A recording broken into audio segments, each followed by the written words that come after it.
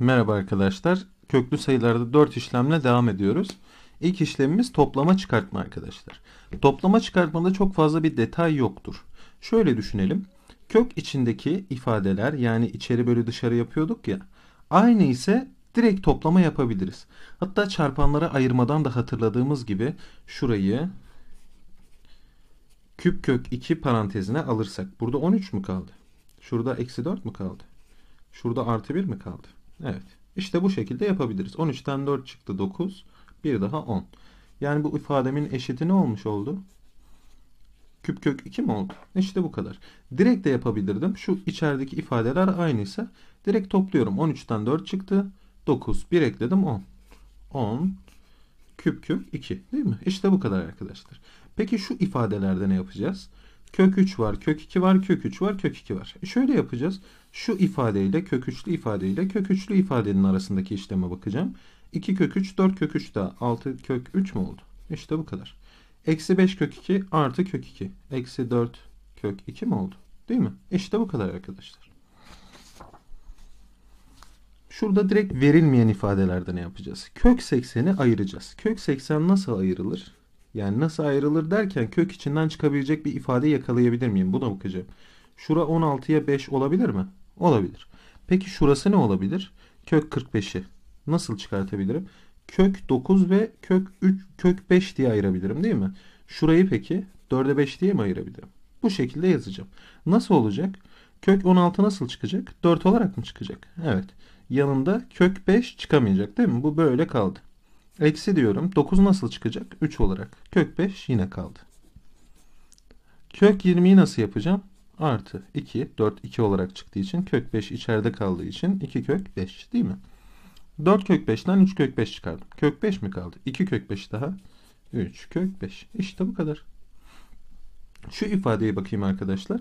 Bize zaten böyle bir bölme işlemi sorduğunda aslında bu bir bölme işlemi değil. Zaten işlemi yapınca fark edeceğiz. Şöyle bir şey düşüneceğiz arkadaşlar. Ben buradan bir ipucu yakalarsam diğerlerini de aynı ipucundan yapabilirim. Çünkü bana aksini soramaz. Aksi çok saçma bir şey olur. Ne demek istiyorum? Kök 27'ye bakıyorum. 9 ve 3 diye ayırabilirim değil mi ben bunu? Yani ben buranın 3 kök 3 olarak çıkacağını biliyorum. 9 3 olarak çıkıyor. 3 içeride kalıyor. İçerideki kök 3 oluyor değil mi? Eksi diyorum. Buradan da 3'ü ayıracağım. Kök 3'lü bir ifade çıkması lazım. Aksi olmaz zaten. 16'ya 3 mü oldu? 16 ne olarak çıkacak? 4 olarak. 4 kök 3 mü oldu? Evet. Buradan da yine 3'ü arayacağım. 3'e 100 mü? 100 ne olarak çıkar? 10 olarak çıkmaz mı? Artı 10. Kök 3 içeride kaldı. Bölü diyorum. Kök 12'de de yine 3'ü arayacağım. 3'e 4 mü? Evet. Burada ne oldu? 2 kök 3 mü oldu? 4 2 olarak çıktı çünkü. Şimdi bu işlemi yapıyorum. Aslında bu bir bölme işlemi değil dediğim gibi. 3 kök 3'ten 4 kök 3 çıktı. Eksi kök 3 mü? 10 kök 3 daha 9 kök 3 mü? Değil mi? 9 kök 3 olarak çıkmış oldu. Aşağısı ne? 2 kök 3. Peki kök 3'ler bölme olduğu için birbirini götürmez mi? Cevabım ne çıktı? 9 bölü 2 mi? İşte bu kadar. Evet şu uyarılara dikkat edelim arkadaşlar. Kök 9 ile kök 16'yı toplarsam kök 25 olmaz. Çünkü bunlar farklı ifadeler kök içlerini ayrı ayrı toplayamam. Çünkü aynı köke sahip değiller bunlar değil mi? Aynı kök içinde değiller bunlar. Böyle bir işlem yapamam. Bunu unutmayalım lütfen. Tıpkı 16 ile 21'i toplayıp 37 yapamam. Çünkü farklı kök içindeler bunlar. Değil mi arkadaşlar? Ve şu işlemde de kök 9'u ayrı çıkartayım, kök 16'yı ayrı çıkartayım yapamam. Çünkü bunlar çarpım durumunda değil. Yani ben buraya 3, buraya 4 deyip çıkartamam. Aynı kök içinde olduğu için 9 artı 16. Kök 25 diyebilirim. Bu da 5 olarak çıkabilir derim. Tamam mı arkadaşlar? İşte bu kadar. Şimdi çarpmaya bakalım. Bu biraz önemli bir konudur. Kök kuvvetleri aynı olanlar. Yani burada da 2 var. Şurada da 2 var. Ben burada direkt işlem yaparım. 2 çarpı 8 16. Tabii ki kök içinde. Şurada ikinci dereceden kök değil mi? Kök 16 nedir? 4 değil mi? Bu kadar. Kök 3 kök 3 çarparsam 3 olur. Neden? Çünkü ben burayı içinde çarparsam 3 kere 3 9 oluyor. Kök içinde 9 oluyor değil mi? Kök 9 ne? 3 değil mi? İşte bu kadar. Burada da aynısını yapabilirim. 3. dereceden kök, 3. dereceden kök. İçeriği çarpıyorum. Şurası 125 olmadı mı? Şurası da 3. Bunun 5 olarak çıktığını bilirim. Neden? 125 5'in küpü değil mi? Evet. Küp kök olursa biz ne yapıyorduk? İçeri bölü dışarı yapmıyor muyduk? 5 üzeri 1 değil mi? Yani bu sayı 5 değil mi? İşte bu kadar. Evet, gelelim kök kuvvetleri farklı olanlara. İşte önemli olan budur arkadaşlar. Eğer kök kuvvetleri farklıysa şöyle bir işlem yapacağım ben. Ben buranın 2'nin karesi olduğunu biliyorum değil mi? Hatta şöyle çıkartalım. 2'nin karesi olduğunu biliyorum değil mi? Şöyle olduğunu biliyorum. Çarpı 2, 5. Ben bunu istersem üstteki köklerine eşitlerim. 3'ü 5'i 15'te eşitlerim. O ve bu kökten bildiğim için 3 ve 5 aralarında asal değil mi? O kekleri çarpımları değil mi? Bilmiyorsak o ve bakekten tekrar bakabiliriz buna. Evet. Bunun nasıl çıktığını biliyorum. Ben şu şekilde yapmayı seviyorum. Üslü olarak. İçeri bölü dışarı değil miydi? 2 bölü 3 değil mi? Çarpı şurası ne? 2 üzeri içeri bölü dışarı. Burada görünmeyen bir biri var. 1 bölü 5. Peki burada nasıl diyebilirim? Tabanları aynı. Üstleri toplamayacak mıydım? 2 bölü 3 artı 1 bölü 5. Gelin şu işlemi burada yapalım. Artı 1 bölü 5. Şunu 5 ile genişlettim. Şunu 3 ile. Ne olmuş oldu? Ee, 10 bölü 15 artı 3 bölü 15 mi oldu? Evet. Yani 13 bölü 15 mi oldu? Peki şu ifadeyi direkt 2 üzeri 13 bölü 15 diye yazabilirim. İşte bu kadar. Bölme işlemine bakalım arkadaşlar. Bölme işlemi de çok önemlidir. Kök kuvvetleri aynı olanlarda ne yapacağım? Kök kuvvetleri aynıysa direkt çarpabilirim. Yani şu şekilde yazabilirim. Hatta büyük bir köke alıp direkt şöyle 40 çarpı 18 bölü 80 diye yazabilirim. 40 ile 80 sadeleşir mi? Sadeleşir. Burada 2 kaldı. 2 ile 18 sadeleştirdim 9 kaldı değil mi? Burası kök 9 değil mi? İşte bu kadar. Şuraya bakalım. Yine büyük bir kök içinde yazabilirim. Neden? Hepsinin kökü 3. Şuraya 3'ü de yazayım. Değil mi? 7 kere 14 28 bölü 2. Yani burası ne çıkmış oldu? Küp kök içinde 14 mu oldu? İşte bu kadar. Tamamen bu arkadaşlar. Evet şimdi şuna bakalım. Kök kuvvetleri farklı olanlarda da şunu yapabilirim. Burası 6, burası 3, burası 2 değil mi? Burada görünmeden bir görünmeyen bir 2 var. Bunların hepsini 6'da da eşitleyebilirim. Şu işlemi de yapabilirim. Bu ne demek? 3 üzeri içeri bölü dışarıdan. 1 bölü 2 değil mi? Evet. Çarpı 3 üzeri içeri bölü dışarıdan 1 bölü 3. Bölü 3 üzeri içeri bölü dışarı 1 bölü 6. Bunu nasıl çözümleyeceğim? Şöyle çözümleyeceğim. 3 üzeri 1 bölü 2 çarpı 3 üzeri 1 bölü 3 çarpı ben bunu nasıl yazabiliyordum? Yukarıya attığımda. Üstüne eksiyle çarpmıyor muydum? Evet. Üslü sayılardan hatırlıyorum. İşlemin buna dönmüş oldu. Tekrar şurada bir rasyonel işlem yapacağım. Nasıl yapacağım? 1 bölü 2 artı 1 bölü 3 eksi 1 bölü 6 değil mi? Evet. Şunu 3 ile, şunu 2 ile, şunu 1 ile. Zaten bu işleme gelene kadar şunları 6'da eşitlemiş gibi oluyorum. Bakın şurada paydalar eşitliyorum değil mi? Aynı işlemi yapmış oluyorum. Bu daha pratik ve hızlıdır. Zaman kazandırır. Evet. Buradan ne oldu? 3 bölü 6 oldu değil mi? Artı 2 bölü 6 oldu. Eksi 1 bölü 6 mı oldu? Değil mi? 3, 2 daha 5. 1 çıkardım 4 bölü 6. Hatta bu sadeleşir 2 bölü 3 mü olur? Değil mi? Yani benim bulduğum sonuç 3 üzeri 2 bölü 3 mü oldu? Peki ben bunu şu şekilde yazabilir miyim? 3'ün karesi içeri bölü dışarıydı ya. Tekrar böyle yazdığımda 3 üzeri 2 bölü 3 olacak değil mi? Hatta şöyle de düzenlersem 3'ün karesi kaçtır? 9. Küp kök 9 oldu mu? Bu şekilde de yazabilirim tabii ki. Tamamen benim tercihim. Evet. Ondalık sayıların kökleri arkadaşlar. Ondalık sayıların köklerine bakarken şunu yapmamız gerekiyor. 169 sayısına benzetebilir miyim? Çünkü 169 sayısının ben 13'ün karesi olduğunu biliyorum. Bu da karekök olduğu için çıkartabilirim. Bu bir ipucudur benim için. Yani ben bu sayıyı uzatmadan 169 bölü 100 diye yazabilirim değil mi? 1,69 buna tekabül ediyor. Peki şu şekilde de açabilirim. Şöyle de yapabilirim. Direkt görebilirim 13 bölü 10 olduğunu. Kök 169. Karekökten nasıl çıkar? 13 olarak. Kök 100 nasıl çıkar? 10 olarak. Yani bu 13 bölü 10 oldu değil mi? Tekrar ondalık şekilde yazmak istersem 1,3 mü olur? Evet.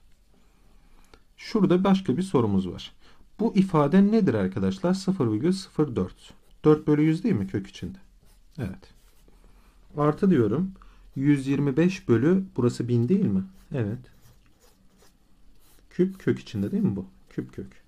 Eksi burası nedir? 144 bölü 100 değil mi? Ne içinde? Karekök içinde. Değil mi? Bunu çözümlüyorum. 4 bölü 100. Az önce yaptığımız gibi kök 4 bölü kök 100 diye de çıkartabilirim. 2 bölü 10 diye de çıkartabilirim.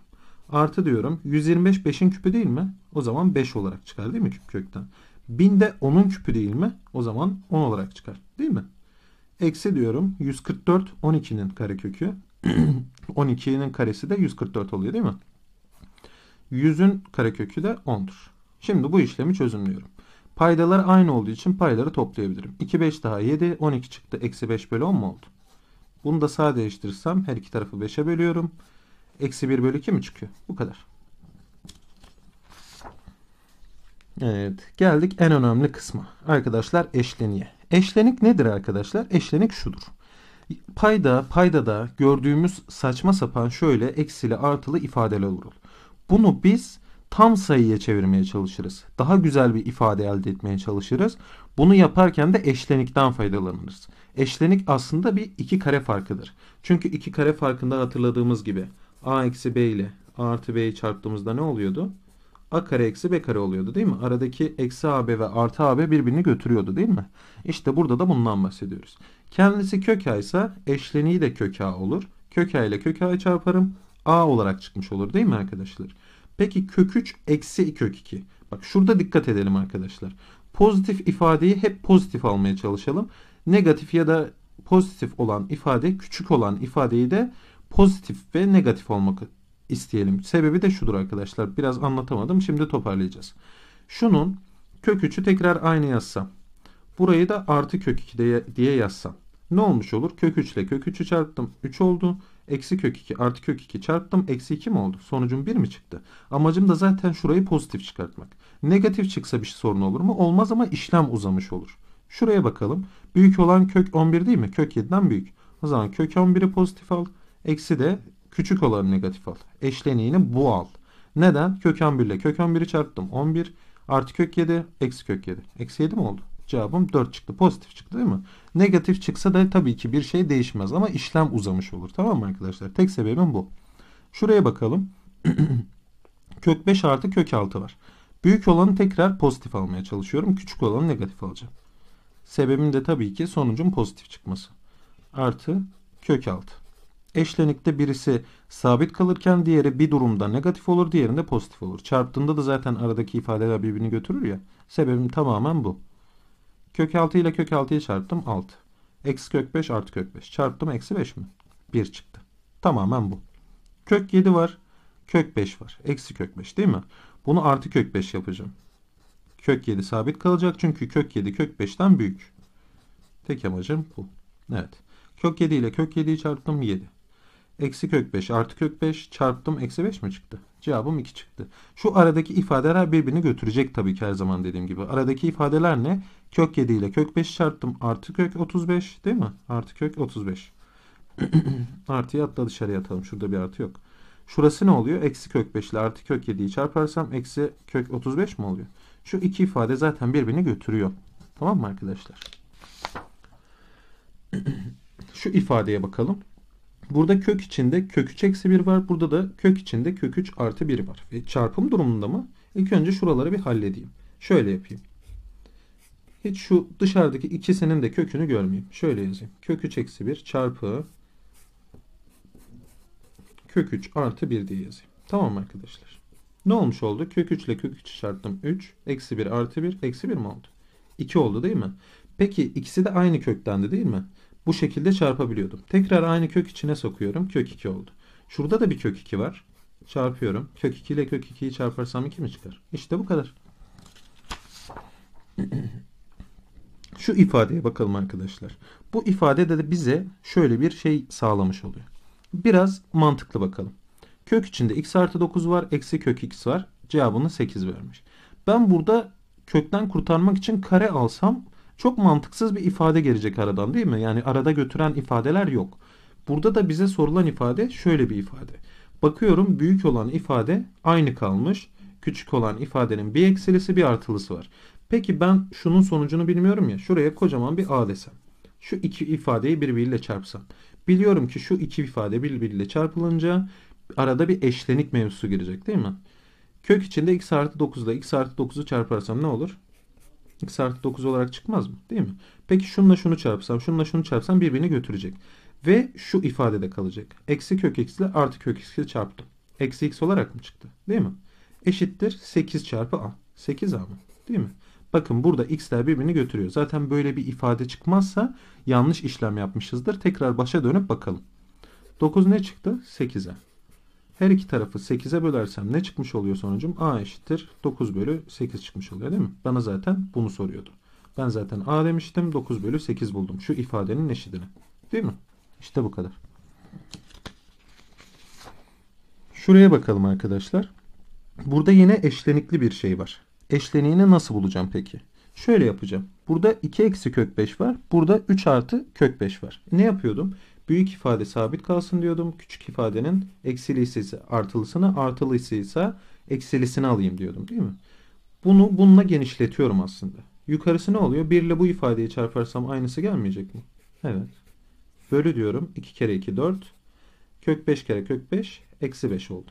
Bakın burada negatif geldi. Yine değişmeyecek ama işlemim uzayacak. Sadece bunu göstermek için yaptım zaten bu örneği. Eksi diyorum. Burayı da neyle çarpacağım? Büyük ifade sabit kalsın. Küçük ifade böyle kalsın. Tamam mı arkadaşlar?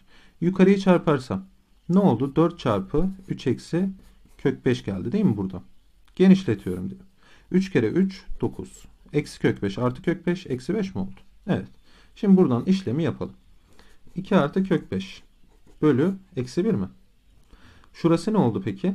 Eksi 12 eksi ile eksiyi çarptım artı 4 kök 5 mi kaldı? Değil mi? Bölü diyorum. Aşağısı ne? 4 mü? Evet.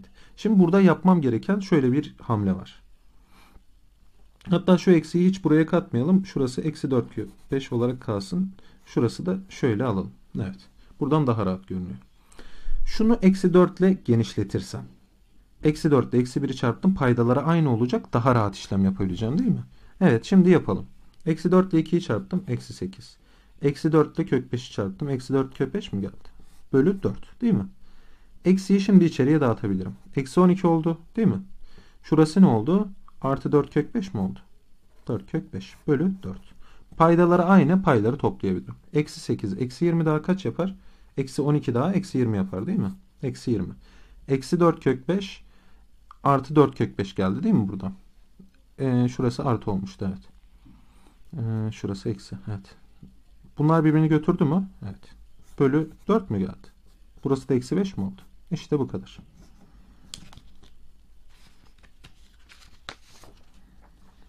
Şimdi şu ifadeye bakalım arkadaşlar. Biz az önce ne yapmıştık? Çarpma yapmıştık. İki örnek öncesinde. Değil mi? Şöyle bir ifade vardı. Buradan bir şey elde edemeyeceğimi biliyordum. Şurada bir ifade vardı. Çarpmıştım. Burada peki çarparsam karşılıklı gelen şeyler birbirine eşit değil ama bakıyorum ki alttakiler üsttekine, bunun altı bunun üstüne benzer bir ifadeyi sağlıyor. Peki burada ne yapmam lazım? Şöyle bir ifadeye ben B dersem tamam mı? A bölü B yapayım. Değişen bir şey var mı? Yok. Yine buradan bir şey yakalayabilirim. Bunu direkt aynı yazıyorum.